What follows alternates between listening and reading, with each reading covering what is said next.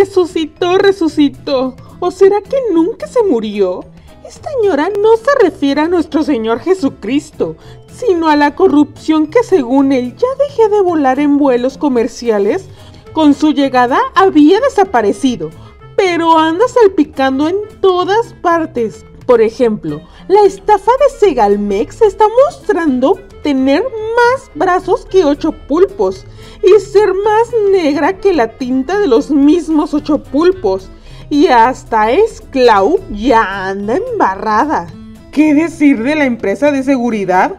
Ha ganado millones de contratos y es de un nicaragüense amiguísimo del dictador Daniel Ortega, que prohibió la celebración de la Semana Santa en su país. A esta señora no se le olvidan los líos del Banco del Bienestar y muchos otros casos de sobreprecio y empresas fantasma. A esta señora cree, como diría don Juan Tenorio, la corrupción que daban por muerta hoy goza de cabal salud. Chau, chau.